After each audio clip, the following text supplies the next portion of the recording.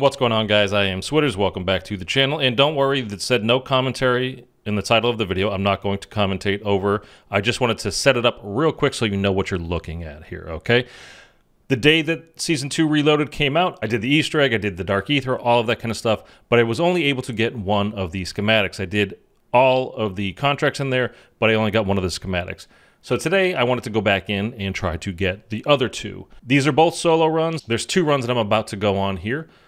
The first one, I get one more schematic and I don't get everything that I need, so I have to go back in, but I do all three contracts. In the second time I, that I go back in, I get it on my first contract, which is the Outlast contract, but I do one more contract and then I just leave. I don't do both uh, times. I don't do three contracts, the full three contracts each time. I had what I needed. I was ready to go, so I decided to go. So you're going to see the full three here in the first run, and then, like I said, on the second run, I will only do the two. Also on the second run, I don't have like the full complement of like high quality legendary stuff. No golden armor, no Aether Blade, all of that, which those things will really help. So anyhow, here's the run.